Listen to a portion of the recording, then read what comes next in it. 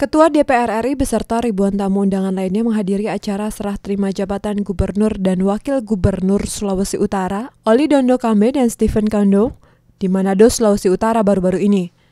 Ketua DPR menyampaikan harapannya kepada seluruh kepala daerah yang telah dilantik agar membuktikan janji-janji politiknya kepada masyarakat.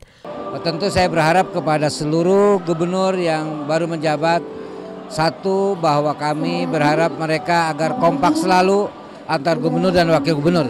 Pelajaran yang lalu bahwa gubernur dan wakil gubernur tidak kompak, yang rugi adalah rakyat di daerah itu. Kita inginkan agar bekerja sekeras-kerasnya buat rakyat yang memilihnya. Anggota DPR RI yang berasal dari Dapil Sulawesi Utara, Yasti Superjo berharap pemimpin baru dari hasil pilkada serentak mampu memberikan kontribusi yang terbaik untuk daerahnya.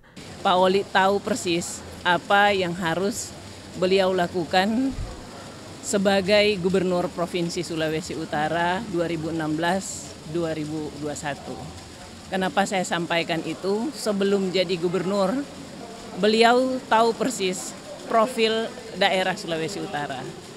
Anggota Komisi 5 DPR Markus Nari mengingatkan kepada kepala daerah terpilih agar dapat menggunakan anggaran yang tersedia untuk membangun infrastruktur penghubung antar desa agar kesejahteraan dan perekonomian masyarakat dapat meningkat. Infrastruktur jalan yang menghubungkan dari satu kecamatan dengan kecamatan lain yang nantinya potensi-potensi yang ada di kabupaten itu yang dari e, desa, dari lurah itu kelurahan itu bisa diangkut langsung ke e, ibu kota kabupaten.